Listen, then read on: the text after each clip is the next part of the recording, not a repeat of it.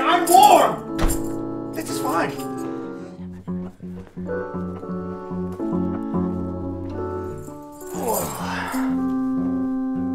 All right, guys. Let's get started. First order of business. I got us a gig. no Bro. way. On one condition. We need original material. No covers. Please tell me you guys have ideas. Actually, I have been working on something. A love ballad. No way! I wrote a love song too. Maybe we should compare. See what's what. Great! How about you each sing a verse? Deal? Hazel, you start.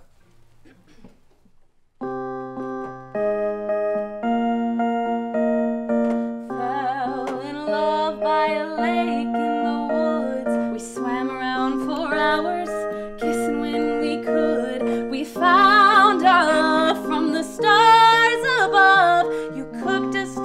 dinner, solidifying our love.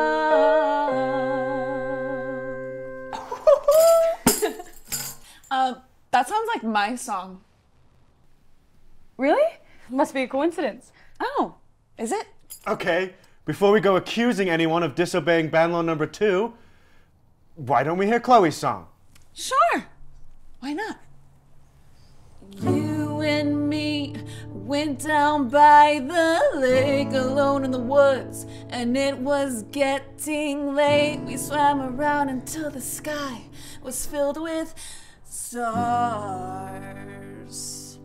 Next thing I know, you pulled out a knife, and I began to fear, fear for my life. And then you said that the knife was just for steak. Our steak dinner by the lake.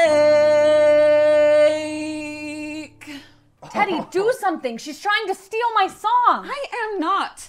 I wrote this song about the first day I went on with my boyfriend. She must have read my lyric notes. Now, hang on a second, that's a pretty serious accusation, Lo. But do you have any evidence to back it up? It's all right here. Details of our first date.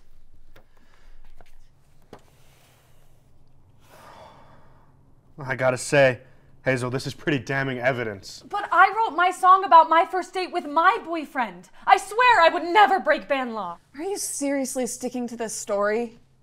Look. This is me and my boyfriend doing the very specific thing as described in the song.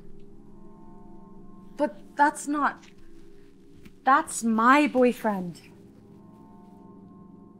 Oh. Oh, you guys. So that's a clear violation of ban law number six. Oh, but I Hey, didn't know. hey! Don't look at me. You know, I've been in a happy relationship for over a year now. See?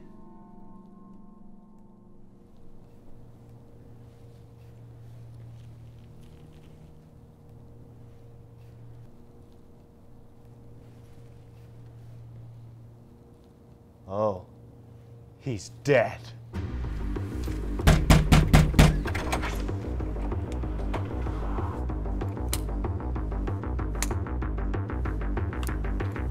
Shit.